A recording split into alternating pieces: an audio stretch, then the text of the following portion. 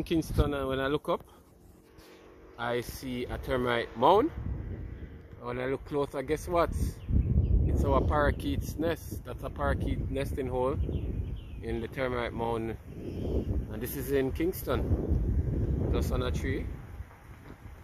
Just like that. So this is how birds at the olive throat parakeets that we're here making a lot of um, sound. Was trying to get a picture of the parakeets going in but for now we're just going to um, do this video. Yep. So right in Kingston look at it. There's a tree.